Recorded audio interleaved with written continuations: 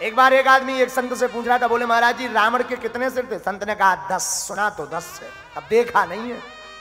तो बोले अच्छा महाराज हाय माय यूट्यूब फैमिली आज की वीडियो में रावण करवट कैसे लेते हैं उसका सारांश है और बाबा जी उसका क्या जवाब देते हैं वो आप ये वीडियो पूरा वॉच कीजिए और सुनिए और कमेंट में ज़रूर बताइए और सब्सक्राइब ज़रूर कीजिए।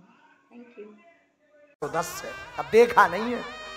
तो बोले अच्छा महाराज, और तो सब ठीक है। जब रावण के दस सिर थे तो वो सोता कैसे होगा? महात्मा बोले मतलब?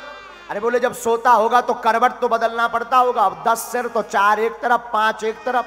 अब करवट कैसे बदलता होगा? अब स्प्रिंग तो है नहीं कि मुड़ जाए। महात्मा बोले, बात तो सही गई तो व्यक्ति ने कहा कि, हो सकता महाराज, जैसे करवट बदलना हो, वो रावण पहले खड़ा होता हो, फिर उल्टा लेटता हो। बोलो, सीताराम महात्मा ने भी बड़ा प्यारा जवाब दिया। बोले, सुनो, रावण के हैं तो दस सिर, हमने लेकिन देखे नहीं है, लेकिन हमने सुना है जिसके ज़्यादा सिर हो जाते हैं, फिर वो सोता नहीं है, ना सोता है, ना सोने देता है।